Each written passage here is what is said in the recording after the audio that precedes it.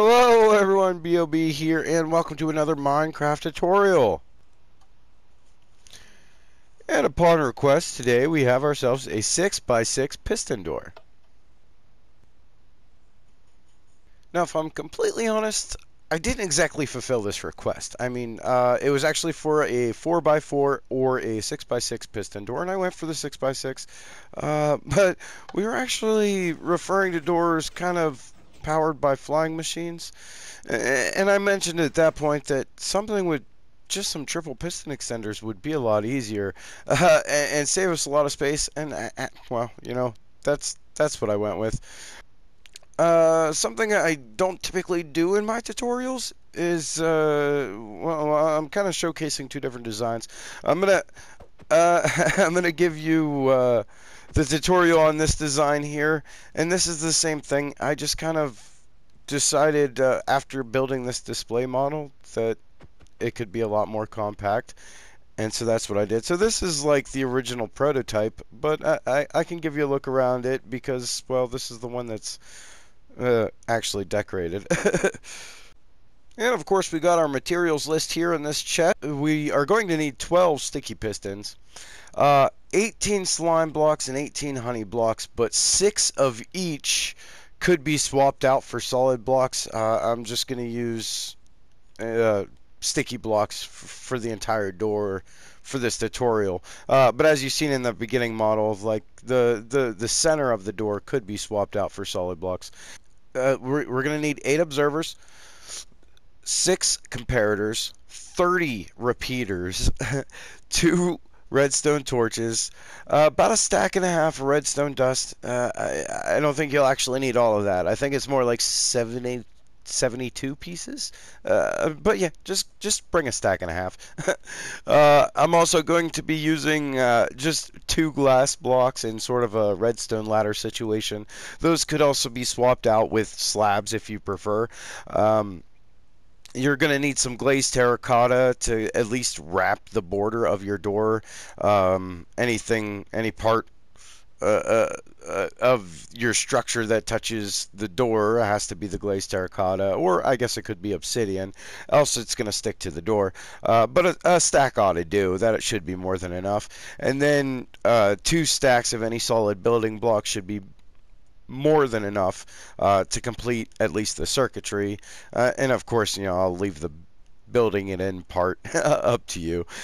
Now, you're going to need at least a 22 by 6 area for this build, and I have some markings on there to kind of guide and show me where to start.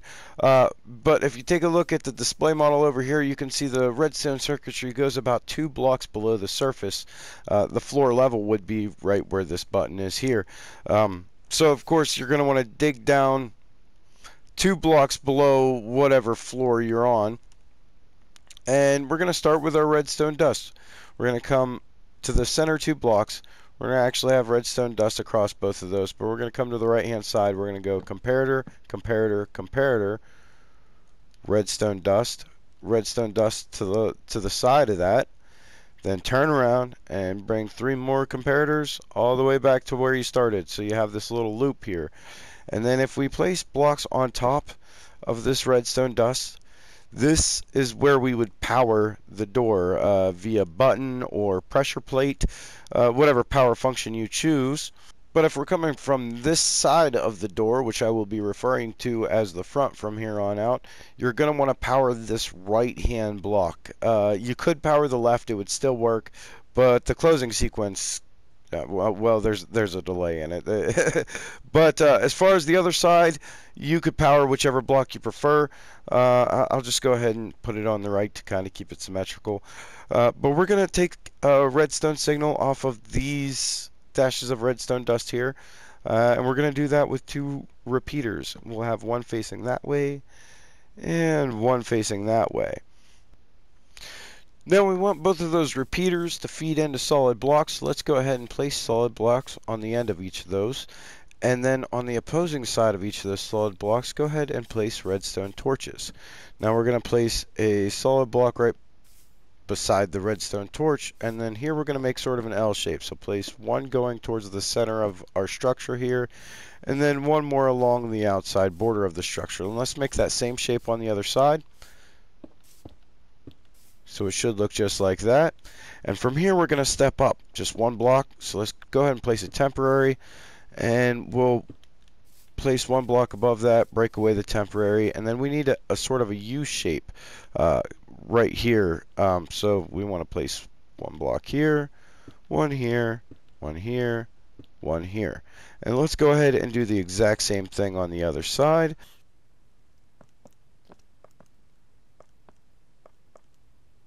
And then it should look a little something like this. Okay, and now we can go ahead and get our pistons put in place. So what we're going to do is come down here to the side. We're going to need to place just a temporary block right here. I'm going to use a piston. uh, so I'm going to so I can go ahead and get a piston hovering above the uh, ground there. And then we'll go ahead and place two pistons on the front of that. Do the exact same thing on the other side.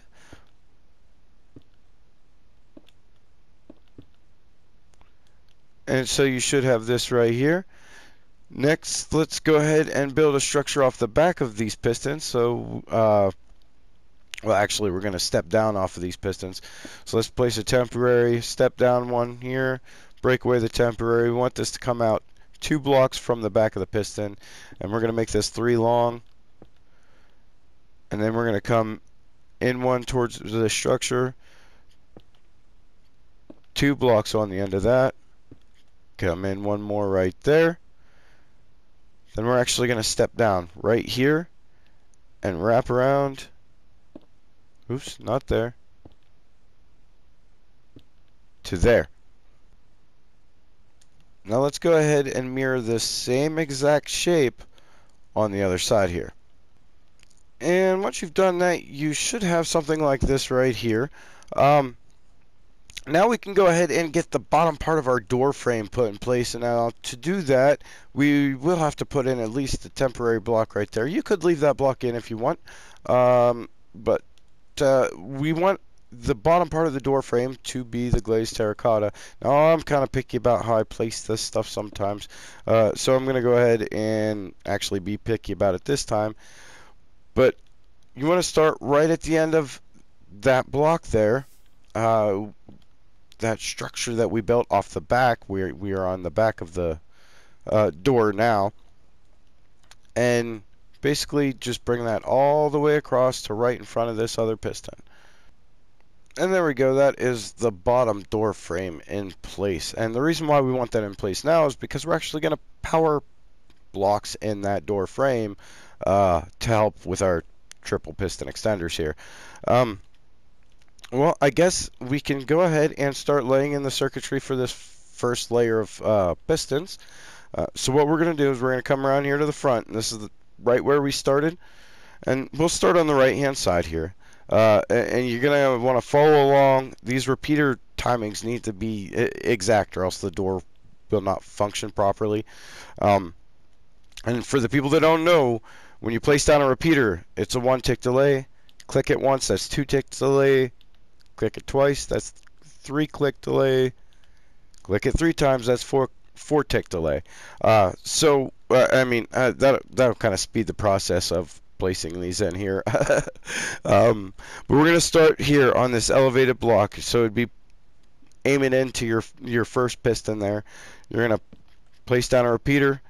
You want that set to four tick delay. Repeater into the back piston. Set that to three tick delay repeater into the back of that piston, one tick delay, repeater into the side of that repeater, three tick delay, repeater into the center of this piston, uh, this center piston, three tick delay, repeater right here facing off into nowhere. you want that at a four tick delay. And then a repeater right here facing into the your glazed terracotta. You want that at a two tick delay. Um, and then from here, we can just kind of dust it all together. So start with your dust right here. Bring it up to there. Separate line of dust over here.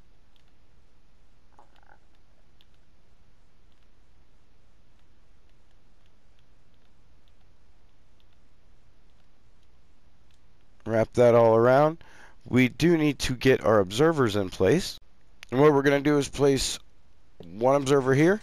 And yeah, it's going to fire things off. That's okay. And you're going to want the other one facing right at that repeater there. So you're going to want to crouch place right on the side. And yeah, it should fire off that, that first piston when you put it in. But that's just fine. Uh, now we need to mirror this same exact circuit over here, and you're gonna you're gonna get used to it because uh, well we got to do it two more times. but here we go. Uh, let's start on this elevated block right here. We're gonna walk our way around just like we did on the other side. Aiming into the first piston, we want a four tick delay. Aiming into the last piston, we want a three tick delay. Aiming into the back of that piston, one tick delay. Aiming into the side of that repeater, three tick delay. Aiming into the center piston, three tick delay. Aiming off into nowhere, four tick delay. Then aiming into the glazed terracotta, two tick delay. And again, chain it all together with the redstone dust. All the way down here. And we want to get our observers. We want one facing the back piston. We're on the back side of the door here. Uh, one facing the back piston. and of course, crouch place one facing the repeater to nowhere there. And we actually have two triple piston extenders intact. All we have to do is place solid blocks here and here. and that, that would actually be part of your floor or uh, I would probably build pillars up on those or something to, you know, to kind of accent the door. Uh, but I, I want to take those out until we get the top layer put in. Now to put in our second layer of triple piston extenders, it's actually real simple. We're just going to step up off the circuitry we already have in place. Uh, so I'm going to place in a temporary block so I can step up here. Another temporary to step up one more time. And then we're going to come back one direction. Let's place a temporary here. And that's actually where I'm going to place in my uh, glass block. Like I said, you could use a slab for this if you like. Uh, but from here, we're just going to kind of build sort of the same structure we have down below, but it's all going to be on one layer. So let's go ahead place one block. We'll come one towards the center of our build here, and then come over two, and then one more toward the center of the build, come over two more, and then this one right here in the center has to be glazed terracotta. Uh, you won't be able to see this. Your door frame will actually be right outside this. Um, so it, it really won't matter what direction you face that. Now we can get our pistons in place here. So let's go ahead and place in a temporary. Place in the one beside that. We'll go one, two, three. And let's go ahead and do the same exact structure on the other side. Uh, of course, we're just going in the reverse. So you're going to step up off the outside here.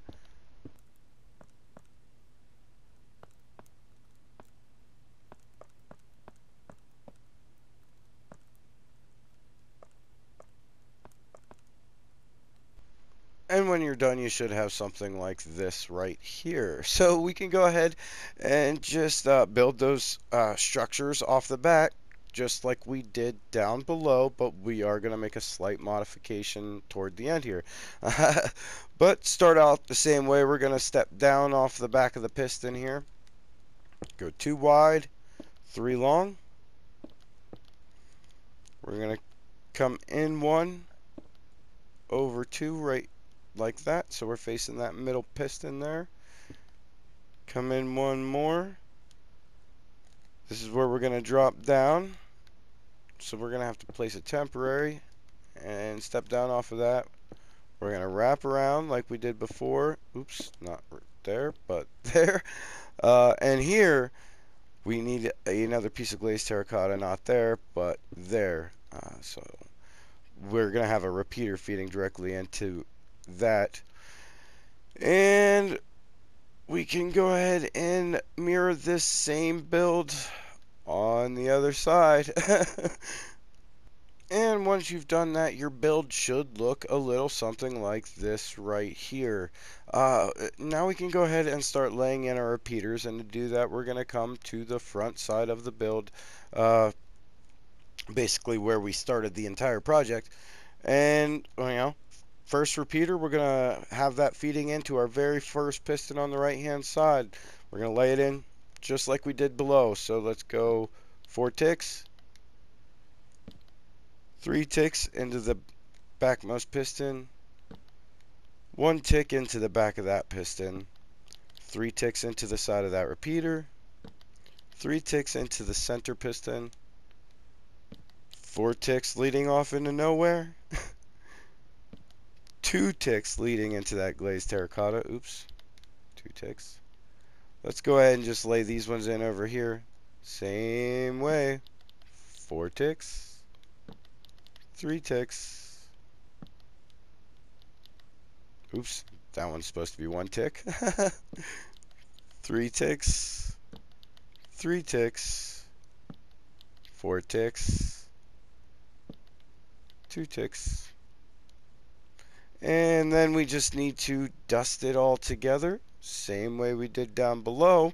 Uh, but we're actually going to start our dust line from down below. We're, we're just going to step up these blocks we put in place here. So go right up the line. If you have glass or uh, a slab, you know, transparent block here, uh, you shouldn't have any problem with your redstone line being cut off.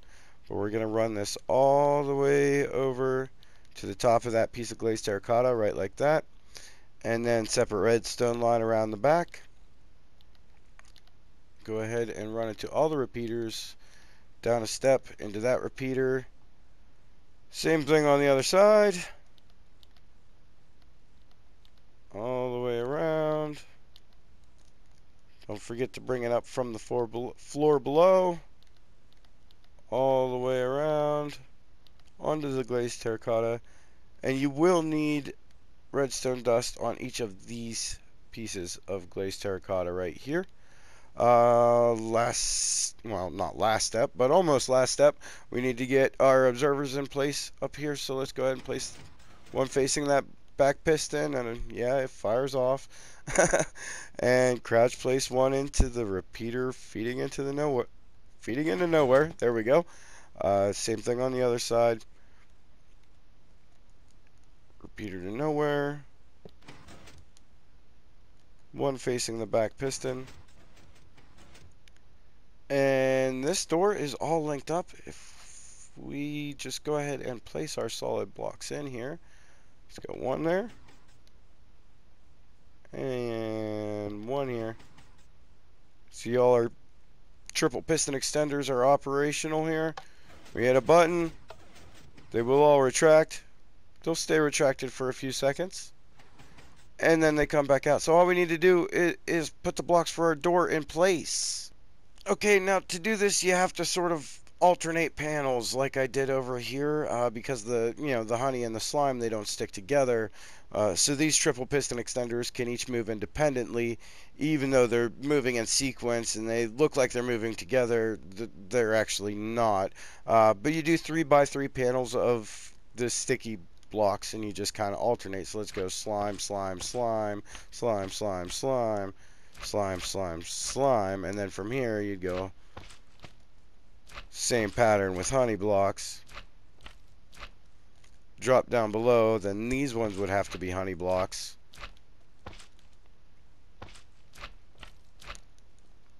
And then these ones slime blocks. And that should still work just fine.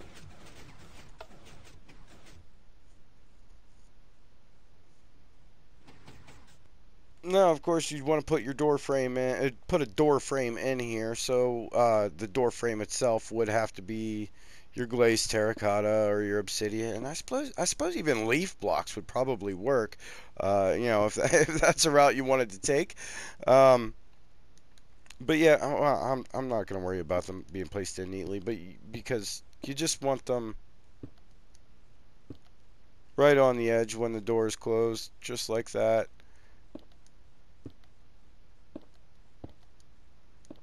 Oops, not there. and then you can put them across the top, of course. Here again, I'm not going to place them in neatly this time. But that is the door completely operational. How you choose to build it in, uh, well, that's that's entirely up to you. As I said earlier in the video, uh, six of each of these blocks could be replaced with solid blocks, so I guess you could have put them in to begin with if that's the way you want to do it. Uh, but these center ones, they could actually be whatever block you prefer, um, and the door will still will still operate. I even um, put lighting blocks on the inside of my display model stuck to the door. You can add up to one lighting block. You can see it in there, but that'll illuminate your door at night. Uh, as I said, you could also use pressure plates uh, to power the thing. And, well, uh, you'll see what I mean by powering the right side of the outside of the door because, well, I guess it worked perfectly that time. Maybe I fixed it with this model. oh, yeah, I did. I did. But, uh, um, yeah, this is, like I said, this is a sort of a separate model. It's a little bit bigger. Uh, but it does allow for more, you know, more depth in your decorative decisions, I suppose. Uh, but you know, it, it's really the same build. It's just I used a torch tower to reach both floors, and I'm taking a signal from the same block. So you see when this block receives power, it's turning off both this torch and this torch at the, at the same time, which is actually powering both floors. Um, so that's how you know if you chose you to spread it out, if you wanted to do it that way, uh, you could do that. But there you go, there you go, a six by six piston door, uh, well, fully operational, and that's that's that's not that all not all that hard to do.